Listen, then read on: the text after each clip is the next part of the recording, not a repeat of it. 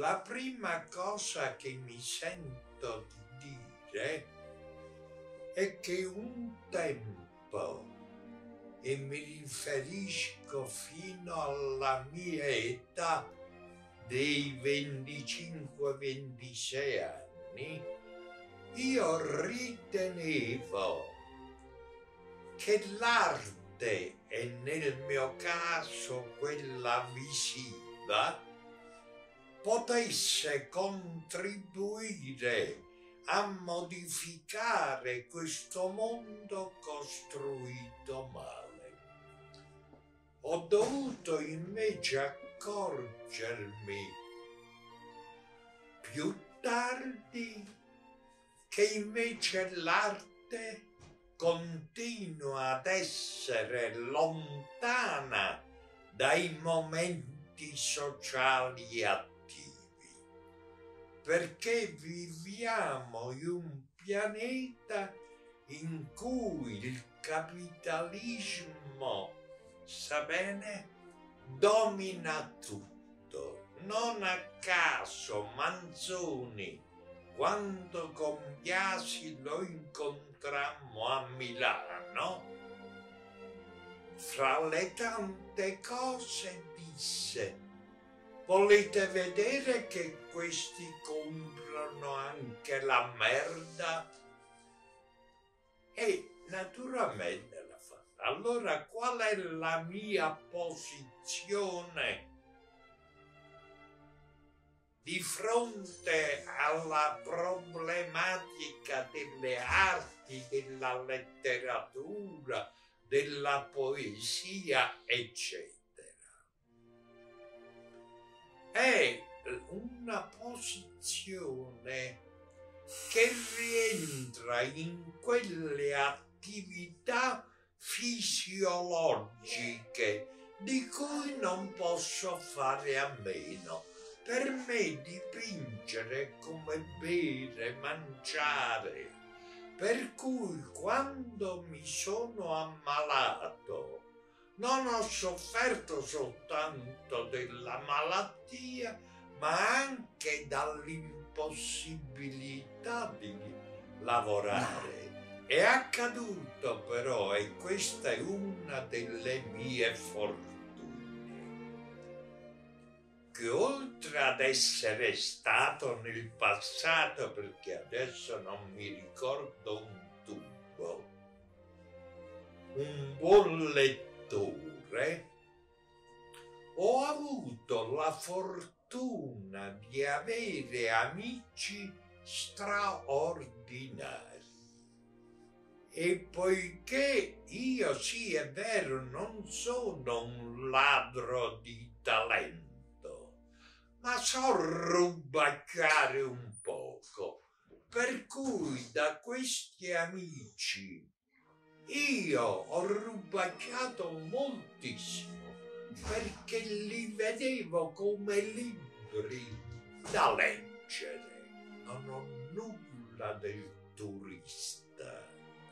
Tant'è vero sono stato in Germania, in Inghilterra. Se tu mi chiedi e allora parlami un po' tanto per dire di Stuttgart io non so dirti niente perché i miei interessi non erano per i monumenti o che so io, ma era per una crepa vista su di un muro, per una strana pietra, capisci?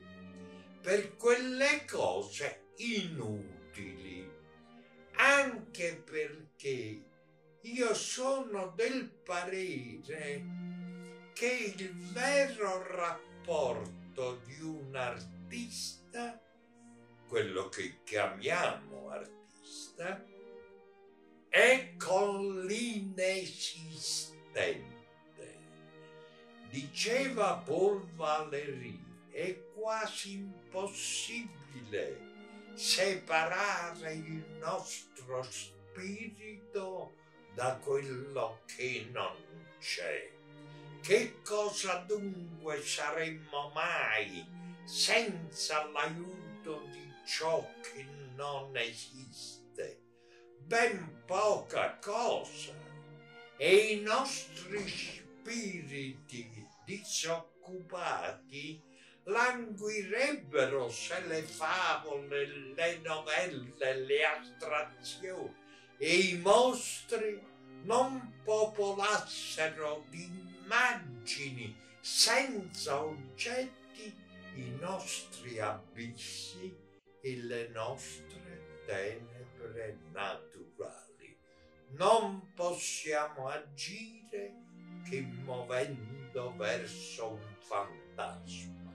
Per quanto riguarda la città di Napoli, ripeto, la mia attenzione è rivolta più a cose ritenute insignificanti che non a cose solide.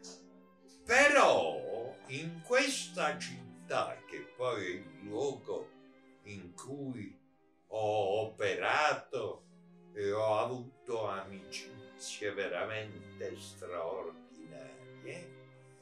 in questa città eh, mi sono accorto che mm, vi sono state e vi sono ancora persone importantissime. Eh, tant'è vero che non a caso, non so se Enrico Pugli ti ha accennato a questa cosa da una rivista americana uh, di arte si diceva chiaramente che la vera avanguardia è nata a Napoli.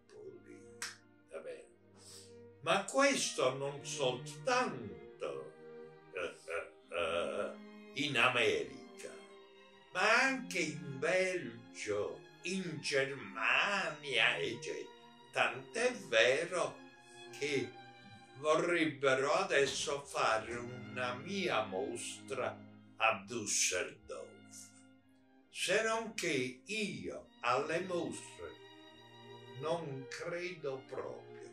E cosa dovrei... Perché si fa una mostra? Io oramai ho quasi 90 anni che devo farmi conoscere.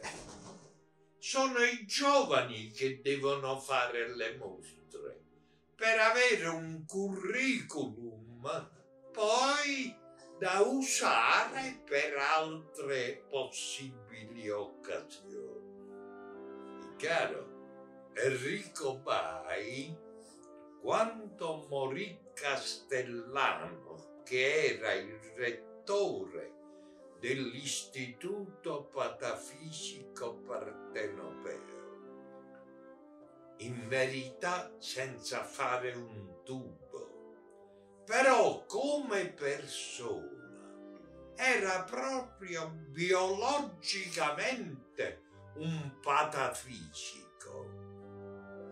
Se non che quando è morto tutti quelli che ruotavano un po' intorno a lui o altrove vollero per forza che fossi io a fare il rettore dell'istituto. E scusami la presunzione, credo che quello che ho fatto fare e che ho fatto io stesso spesso non si trova in nessun luogo. Io mi sono inventato un foglio particolare che affrontava i problemi della forma di qualunque pubblicazione che poi costa un fottio di soldi. E, e, e dopo aver fatto per 20 anni il patapart, patapart perché capisci patafisico e arte, e, e rinnovando addirittura il simbolo primario, mi sono inventato quando poi mi ero stancato del pataparte, mi sono inventato il die. Che cos'è il die?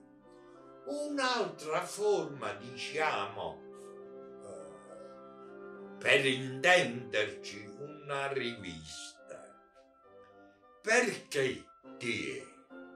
Vale a dire, perché quelli del nord hanno ancora, sapete, nei nostri confronti una discriminazione ingiustificata quando si ricordassero cosa è stato il Settecento. Qui